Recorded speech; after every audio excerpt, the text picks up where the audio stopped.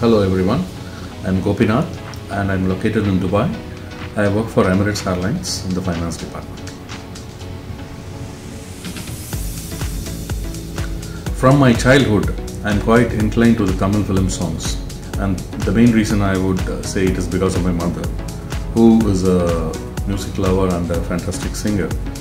And I keep listening to her songs and the radio, which is always played in my home. So that is the main reason I would think uh, which triggered me into the music, to get into the music.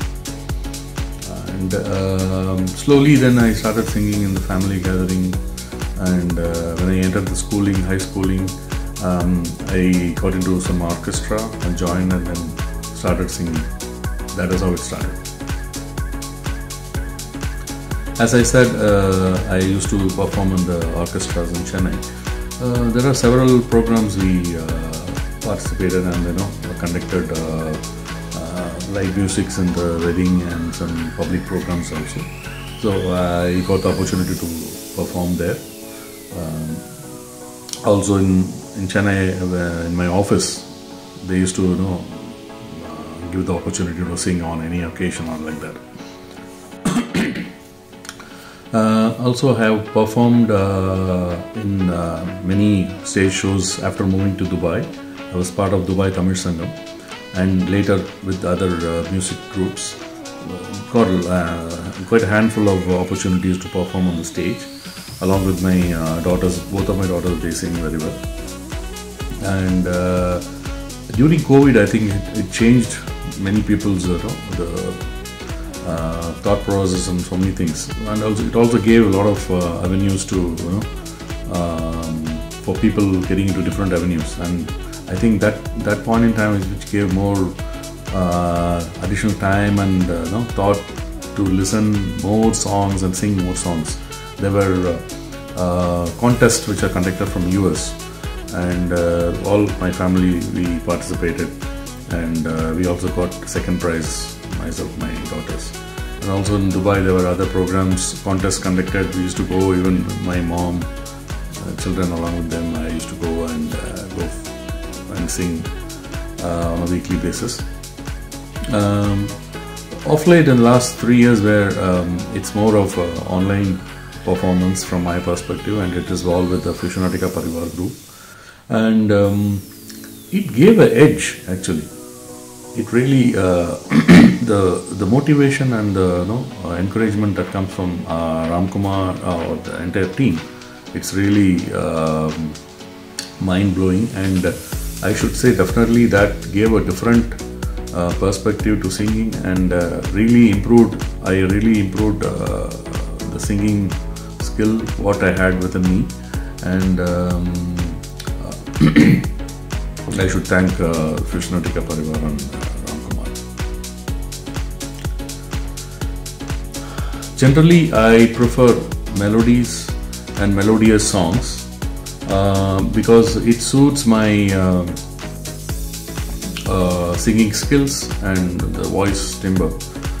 So, generally, I prefer uh, melodies and um, from my childhood it is more of uh, know, what I heard is what I listened is more of SPB songs uh, more than any other singers so I love to I'm comfortable singing his songs and uh, any melodies I'm fine because I um, generally focus on the modulations uh, the singing style of the singer whoever it is um, so try to uh, bring the good diction while singing um, uh, but people have told, few people have told that you know I have the voice timbre of uh, like which sounds somewhat similar like you know PBS uh. Surendra sir. So this is what uh, this kind of uh, feedback which I got. But I'm comfortable singing any uh, melodies, especially. Uh, but off late, um, um, in the last couple of years, where with while with Fusionatica, um, I I moved away from my comfort zone, which is the melodies. Though I prefer melodies on the sad songs where there is more um, um, scope to uh, emote your feelings, the singer's feelings, performance, and all that. But after uh, being with Fusionatica with encouragement, I tried other genres as well, where there are semi-classical songs which I tried with swaras, which is uh, completely new because I, I don't have any classical uh, music background. It was a challenge, but it was achievable. It, I could achieve because of the support.